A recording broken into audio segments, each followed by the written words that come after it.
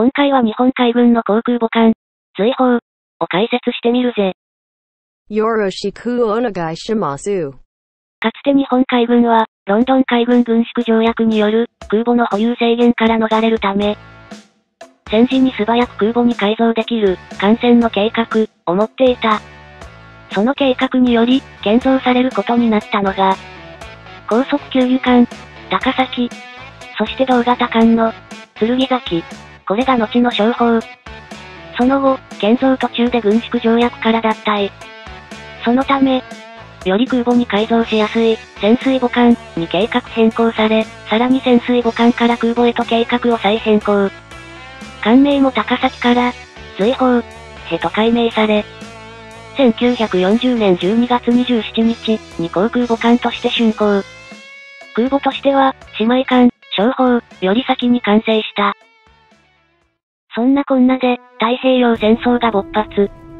瀬戸内海で訓練中、96式艦上戦闘機が随砲の艦首に乗ってしまうハプニングも起きながら、元気に任務を遂行。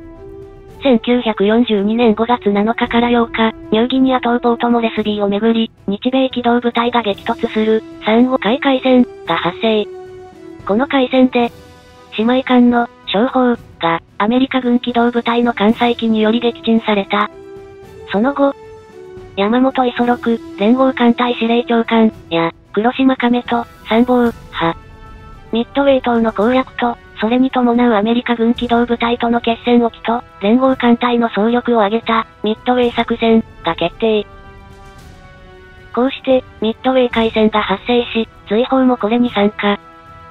上空直営のため、敵艦隊攻撃の機会はない、という判断から、追放の艦載機は、魚雷を一本も搭載していなかった。そして、1942年6月5日、日本海軍は主力空母、赤城、加賀、総友、飛遊、従巡洋艦、三熊を喪失。さらに、空母エンタープライズ、ホーネットの追撃を受けた。この時、ミッドウェー海域に残存する日本空母は、宝章、追砲のみであり、さらに、宝章の艦載機は、旧式の96艦船と、96式艦上攻撃機であった。追砲は魚雷を搭載しておらず、高高度からの水平爆撃も、戦果は期待できないため、最後の手段として、97艦砲に爆弾を搭載しての、艦降下爆撃が選択された。しかし、6月8日に発艦準備が行われるも、アメリカ艦隊との快適はなく、出撃機会はなかった。10月26日、追放は、日米双方の機動部隊が正面から対決した、南太平洋海戦に参加。5時25分、第3艦隊から第1次攻撃隊62機が発進。途中、追放のゼロ戦隊9機は、第3艦隊攻撃に向かう、空母エンタープライズの艦載機19機を発見。第1次攻撃隊から分離して、迎撃を行う。空戦でゼロ戦2機が撃墜され、2機が行方不明となり、艦隊に帰投したのは5機であった。5時40分、索敵中の爆撃機 SBD ドーントレス2機が追放を奇襲。追放の飛行甲板後部に爆弾一発が命中し、15メートルほどの白地が生じた。航空機の着艦が不能となった追放は艦隊から離脱。このため、追放の所属機は空母追角に収容されて戦闘を継続。11時15分、追角に着艦した追放艦航隊田中一郎中尉は第3次攻撃隊の指揮官となり空母ホーネットを攻撃。空母ホーネットに 800kg 爆弾による水平爆撃を行って命中弾を与えた。最終的にホーネットは日本軍前進部隊に捕捉されて来撃処分された。1943年9月18日から19日。アメリカ軍は、太平洋のギルバート諸島の日本軍に対し、アメリカ軍機動部隊と、陸軍第7航空部隊による大規模空襲を行った。これに対し、連合艦隊はギルバート方面、マーシャル方面に警戒配備を命じた。追放を含む日本艦隊は、アメリカ機動部隊を警戒したものの、戦闘は起きず、25日にはトラック白地へ戻った。10月17日、アメリカ機動部隊ハワイ出撃の情報により、連合艦隊は機動部隊、戦艦部隊、遊撃部隊の総力を挙げて、トラック白地を出撃。ウェイク島の西方で警戒に当たったものの、アメリカ機動部隊の出動、は誤報であり、各艦は26日に再び、トラック白地へ戻った。この大規模行動で、トラック白地の燃料は枯渇。本土から補給を行う必要に迫られた。その上、追放を含む各艦の飛行隊は、路号作戦に派遣され、半数以上を消耗してしまう大打撃を受けた。航空隊が消耗する一方、追放は日本本土とトラック白地間の輸送任務に従事。しかしこの間、追放と同行していた空母、重要が12月3日にアメリカ潜水艦セールフィッシュの雷撃で撃沈された。5月11日、大分県佐伯湾に戦艦武蔵、第2航空戦隊、空母、巡洋、費用、UFO、第3航空戦隊、追放、千歳、千代田が集結翌日出港。16日、フィリピンのタウイタウイ白地に到着。この白地では、アメリカ潜水艦の活動により、駆逐艦が次々に撃沈され、空母機動部隊の飛行訓練が、滞りがちとなってしまう。その後、追放の第3航空戦隊は、第2艦隊を主力とする前衛部隊に所属し、マリアナ沖海戦に臨んだ。18日午後3時、索敵機から、アメリカ機動部隊、発見、の報告があり、第3航空戦隊の各艦は、攻撃隊を発進させるが、小沢寺三郎、司令長官、派攻撃を中止させた。19日、追放の攻撃隊が発進。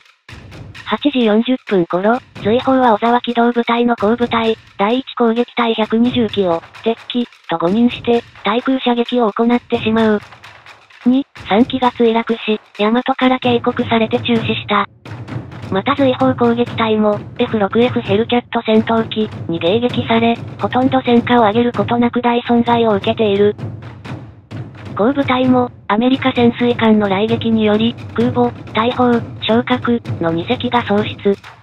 20日、小沢機動部隊の後部隊、オツ部隊、前衛部隊、そして燃料補給部隊が、同じ海面に集結。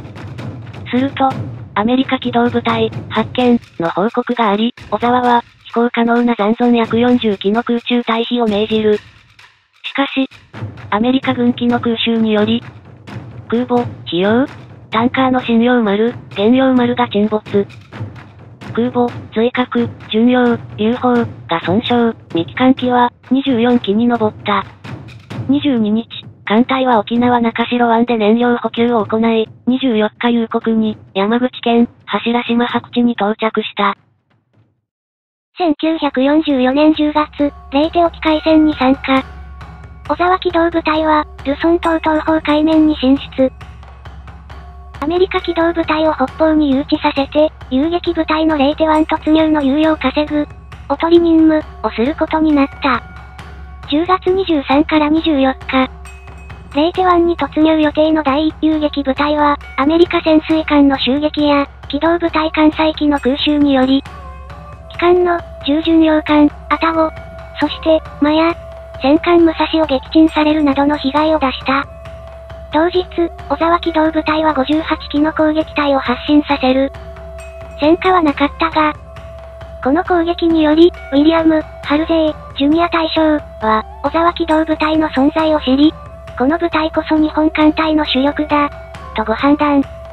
第38任務部隊を率いて、北方への進撃を開始した。8時15から20分より、小沢機動部隊と、アメリカ軍との第一次対空戦闘が始まった。8時35分、爆弾一発が随砲の後部エレベーターに命中、直接操舵に切り替えた。火災も発生するが、約10分で鎮火に成功。8時56分に、随砲の左前型を航行する、駆逐艦、秋月が大爆発を起こし合沈。空母、追角、では、左舷後部に魚雷1本が命中して、通信能力を喪失。空母、千歳、が9時37分に沈没。軽巡洋艦、玉、が飛来、落後。空母、千代田、が被弾、損傷した。13時からの第3次対空戦闘では、上空直営のゼロ戦が、すでに燃料切れで着水していたこともあり、追角と追砲は、アメリカ軍機の集中攻撃を受けた。追角では、舵が故障して人力走だとなり、機関室にも浸水が始まる。そして14時14分、追角が沈没。この写真は、集中攻撃を受けつつある随砲。攻撃後、退避中のアメリカ軍機から見たもので、巨大な水柱に囲まれつつ戦う随砲が映っている。速力が低下していた随砲では、回避運動がうまくいかず、集中攻撃を受ける。沈没に備えた処置が開始され、負傷者はカッターボートで脱出。随砲直営を命じられていた、駆逐艦、クワに救助されていった。軍艦機降下の後、随砲では総員退艦が命令される。15時27分。艦尾から沈み始めていた随砲は、右舷の環境下部に魚雷を受け、艦中央部より分断され、沈没。ご視聴ありがとうございました。下の説明文から、サブチャンネルへの登録もよろしくだぜ。